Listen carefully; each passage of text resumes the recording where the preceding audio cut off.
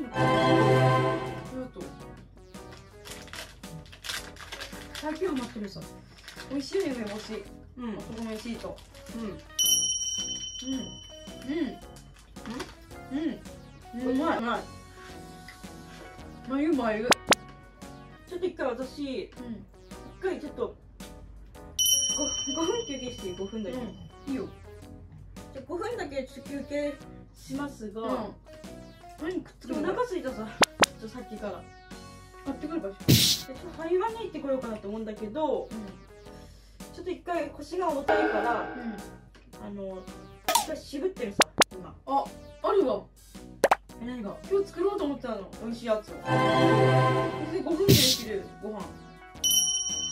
材料ある材料ある。変なのじゃないの？前。なんか変なんじゃないんだよ。普通に混ぜるだけ。の混ぜ飯みたいな感じ混ぜ飯うあじゃあ一回それ食べ食べようかね一回。んいいよいいよ作れる5分で。いいよねあ、これ、よかった。寝てていい入れてもいいよ。寝てられるって。じゃあ一回あのわしらわしが作る。じゃあ一回私休んでていいですか？いいよいいよいいよ全然。どうぜじゃあ私もじゃあ、休もう。休もうね。じゃあ作っていきます。お願いします。はい、それではじゃあ私の休憩タイムご覧ください休憩タイムです。ただ休憩するところです。はいちょっと作っていきたいと思います。じゃあ作るものはもうめっちゃ簡単なんですけどびっくりしないでください。絶対。セブンの卵と出汁にこだわった茶碗蒸しとご飯と天かすとこの一味を使ってご飯を作りたいと思います。混ぜるだけです。いきます。ちょっと待ってくださいよ。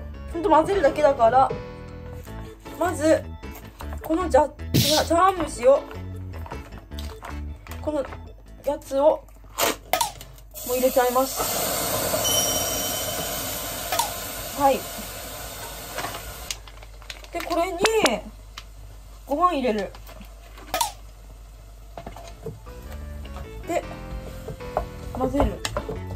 はいちょっと雑雑炊。見たいでしょうか？ちょっと待ってください。これ雑炊なんですよ。簡単な。あ茶碗蒸しね。これ出汁がね香るからねこれ混ぜるだけ。で味美味しいです。でこれで完了。雑炊。雑炊出来上がり。卵雑炊ってあるじゃん。それと一緒の原理です。私が考えた雑炊です。だしいらずの混ぜるだけの雑炊完成です。はい。で、ちょっと待ってくださいね。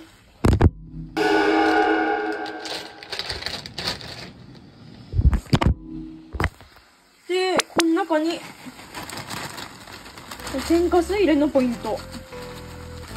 天かすを入れて風味を増すと。ちょっと油ぽい感じ？ほらもう雑炊ですよこれ。目から鱗。まあ賛否両論はあると思いますよ。ちょっと汚いとかあるかもしれないんですけど。で最後。この一味を。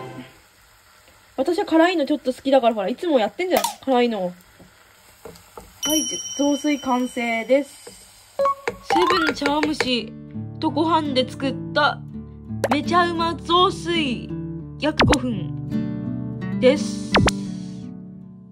はい。ほら、5分で完成した。これをじゃあ、妹に実食してもらおう。はいおーすげえ楽しみいや、ここの、はい。何これ？これはね、うん卵、雑炊。卵雑炊？5分。早いね作るのこれうん。だしから香ってる。あれ？これ準備？あのあったっけ？これさっき材料、うん家にあるで。隠してたで。隠してた、うん。じゃあいいですか？これ食べて、一回食べてどう、どういう評価か。あのー、久しぶりだねこういう雑炊、うん。いいから食べてください。はい。はい大丈夫ですか？ら。はいそういう茶番はいらないんで。はい。話長いから茶。番じゃねえよこれ茶番食べてください。はい。じゃあいただきますありがとうございますはい。さあ、どうでしょうか？赤い卵雑炊。あ、すげえうまいね、これ？美味しいっしょ？え、美味しい美味しい。混ぜるだけたま、卵雑炊。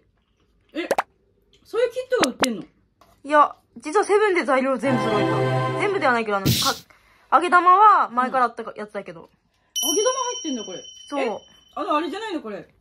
あの、ご飯に、普通に卵を溶いて、煮るだけで5分間。もいや、違う、実は、セブンのう。うん。茶碗蒸し。うまっ。ちょっと待って。うん。これこれ、こ。れ、これを、これと、ご飯と、一味、そう、一味と、うん。揚げ玉だけだよ。え？ー、すごいでしょ？これ茶碗蒸し入ってんの？そうだよえ、。すごっ。え？茶碗。蒸し？これ。そえー、茶碗蒸しに、いや、見えますか？これ皆さん入ってるって。う。匂いもいいっしょ。で匂い？だし、だし。いや、普通にこれ卵溶いて、だし入ってると思ったのよ。雑炊かと思ったし、普通に。一から作った。もう鍋で炊いて作ったやつかなと思って。そうです、そうです。えー、茶碗私これ嘘でしょ？嘘。本当だって私が考察しました。考案かうん、考案しました。はい。えそうなの？セブン、セブンファンだから、セブンのレシピはいろいろあるからね、まだ。私。う美味しいっしょ？んうん。あ、これで今日はうん。頑張りそうです。ほら。っまだまだ。ていう力、感じ。パワーつきました。で、評価は何点ですか？まとめで。えー、100点満点中お願いします。こちらの茶碗蒸し創作雑炊。なんと星5つ中、はい。100点満点中って言ったで、今。あ、間違った、はい。100点満点中、うん。なんと、はい、80点です。80点いただきました。ありがとうございました。ありがとうございまます。はい。はい、ありがとうございます。はい、あ、はい。どうぞ。はい、以上、えー、セブンの茶碗蒸し、セブンの茶碗蒸しで作った卵雑炊でした。はい。まあ、まさか、茶碗蒸しでさ、雑炊できるんですね。知らなかったんで。はい、私が考えました。混ぜるだけです。さすがに美味しくてびっくりしたんで、皆さんやってみてください。じゃあ、ここで、ここで以上です。はい、ちょっと味薄い方は塩入れたら、もっと very good です。確かに。はい。じゃあ、こちらで失礼いたします。はい、ありがとうございありがとうごました。ざいました。失礼します。失礼します。おっす。おっす。おっす。おっす。